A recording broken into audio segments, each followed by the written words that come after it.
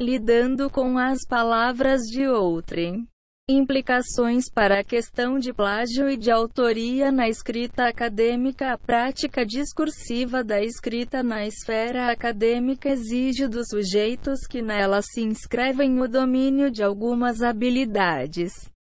Uma vez que o texto científico preza por algumas características essenciais como a objetividade, a clareza, a precisão, a correção gramatical, a coerência.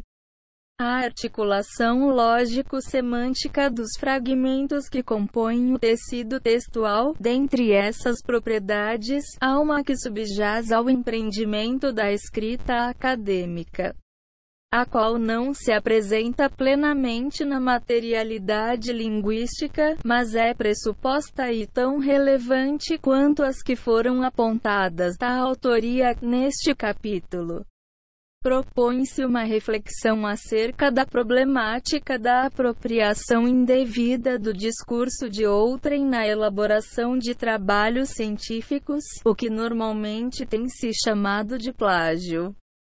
O objetivo é esclarecer a comunidade acadêmica, particularmente os estudantes de cursos de graduação, a respeito dos efeitos nocivos dessa prática quando da confecção de trabalhos em contexto escolar. Para isso, busca-se uma definição e uma caracterização do plágio tomando-se como referência uma literatura que conjugue aspectos éticos, jurídicos e linguístico-discursivos, embora o foco Nessa discussão, recaia sobre esses dois últimos concepções de linguagem e a escrita acadêmica.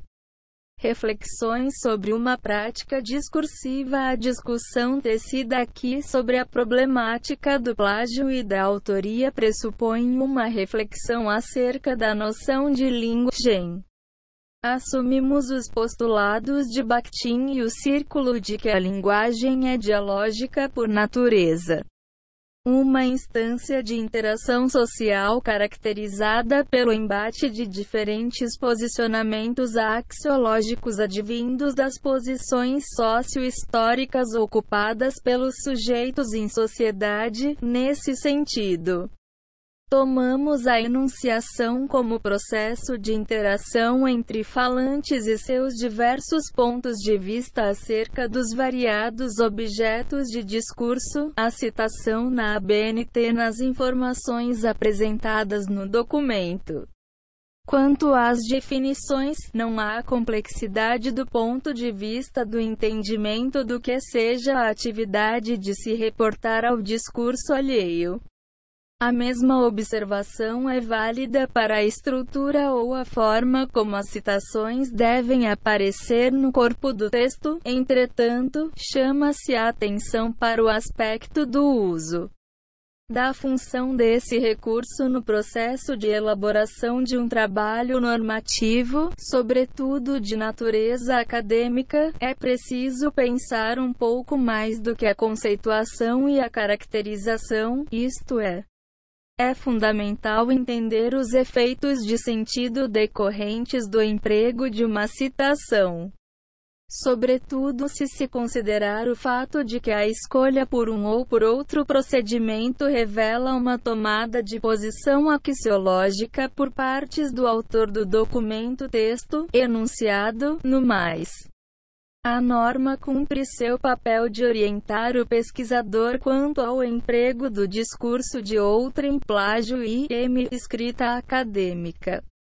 N. As FRONTEIRASANTR é o discurso próprio e o discurso alheio. Discutir o conceito de plágio não é uma das tarefas mais fáceis, pois envolve aspectos não apenas acadêmicos, mas jurídicos, éticos ensejando portanto ponderação e bom senso na abordagem do tema. Neste trabalho interessa como recorte apresentar uma caracterização mais geral sobre o conceito circunscrevendo o contexto acadêmico e tendo como objetivo contribuir para o esclarecimento da comunidade acadêmica acerca do manejo adequado da palavra do outro.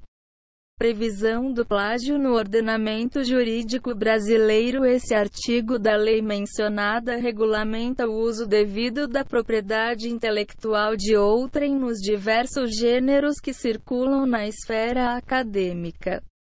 Sendo assim, um determinado sujeito, aluno ou professor, pode usar, adequadamente, as palavras de outrem quando deixa destacado pelas normas de citação da ABNT o pertencimento de uma determinada obra a um determinado autor. Desse modo, as palavras do outro são usadas apenas para ilustrar uma ideia do autor que está escrevendo um determinado trabalho científico. Como um ponto de vista consagrado por um pensamento eminente de uma autoridade em um determinado assunto, de modo particular. A não indicação da autoria de uma obra pode trazer algumas medidas repressivas principalmente aquelas que anulam toda e qualquer documentação que confere grau ou que legitima aprovação em concursos públicos, considerações finais o exercício da escrita acadêmica a despeito da satisfação e do prazer que também lhe são inerentes, normalmente, só se atribuem características negativas a essa atividade, continua sendo um desafio para todo pesquisador. E não apenas do ponto de vista da produção do conhecimento, mas também do de sua difusão, circulação e do das formas de apropriação desse saber. A não observância aos princípios dessa prática discursiva pode acarretar danos irreparáveis aos resultados de uma pesquisa. Em virtude da forma equivocada ou mal intencionada como são disseminados junto à comunidade científica, o pesquisador competente é aquele atento aos procedimentos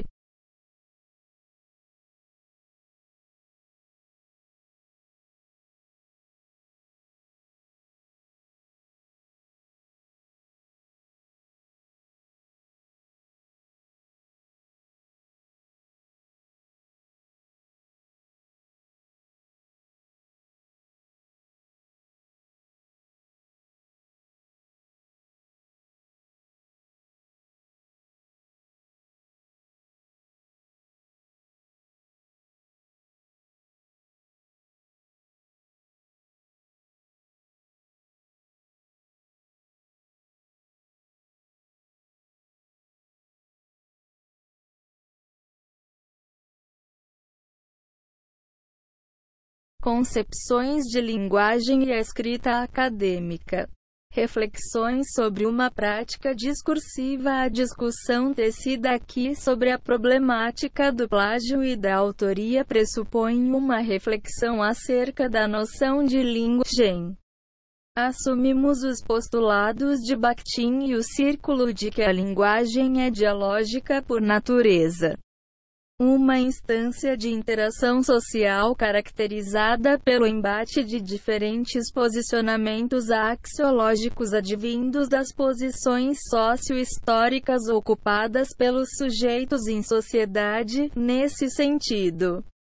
Tomamos a enunciação como processo de interação entre falantes e seus diversos pontos de vista acerca dos variados objetos de discurso, a citação na ABNT nas informações apresentadas no documento. Quanto às definições, não há complexidade do ponto de vista do entendimento do que seja a atividade de se reportar ao discurso alheio. A mesma observação é válida para a estrutura ou a forma como as citações devem aparecer no corpo do texto, entretanto, chama-se a atenção para o aspecto do uso da função desse recurso no processo de elaboração de um trabalho normativo, sobretudo de natureza acadêmica, é preciso pensar um pouco mais do que a conceituação e a caracterização, isto é, é fundamental entender os efeitos de sentido decorrentes do emprego de uma citação. sobretudo se se considerar o fato de que a escolha por um ou por outro procedimento revela uma tomada de posição axiológica por partes do autor do documento texto, enunciado, no mais. A norma cumpre seu papel de orientar o pesquisador quanto ao emprego do discurso de outrem, plágio e m escrita acadêmica. N, as R é o discurso próprio e o discurso alheio. Discutir o conceito de plágio não é uma das tarefas mais fáceis, pois envolve aspectos não apenas acadêmicos, mas jurídicos, éticos ensejando portanto ponderação e bom senso na abordagem do tema. Neste trabalho interessa como recorte apresentar uma caracterização mais geral sobre o conceito. Circunscrevendo o contexto acadêmico e tendo como objetivo contribuir para o esclarecimento da comunidade acadêmica acerca do manejo adequado da palavra do outro. Previsão do plágio no ordenamento jurídico brasileiro. Esse artigo da lei mencionada regulamenta o uso devido da propriedade intelectual de outrem nos diversos gêneros que circulam na esfera acadêmica.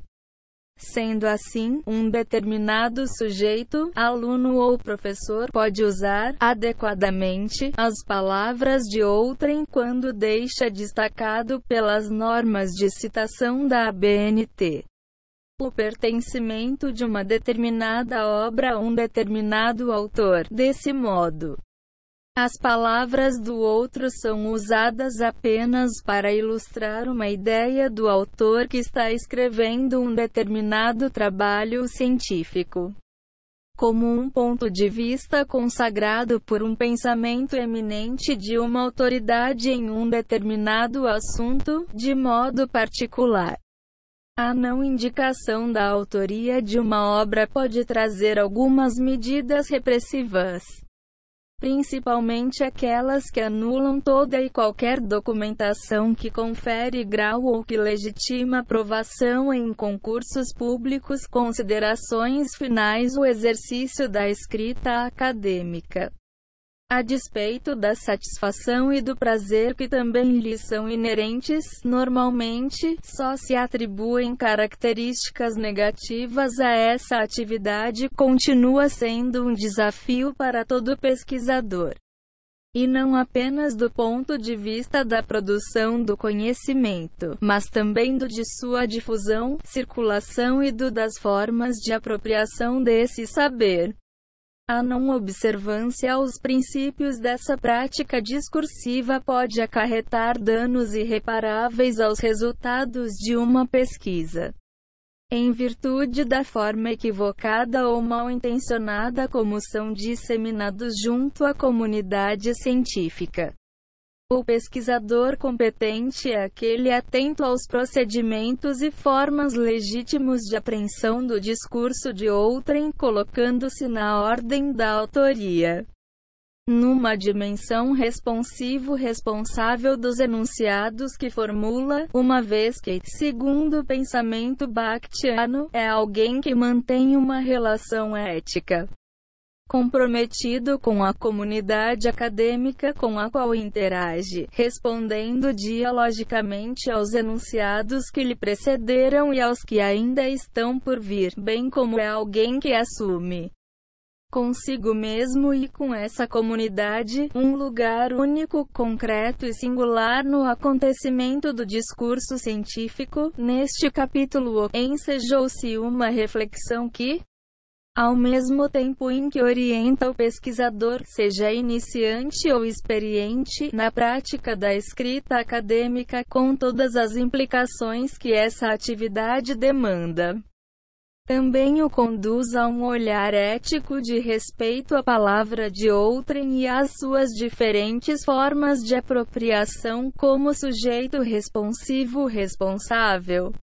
O pesquisador deve precaver-se de se enredar pelas armadilhas do plágio acadêmico, tendo a consciência das penalidades a que está sujeito caso se envolva nesse tipo de prática.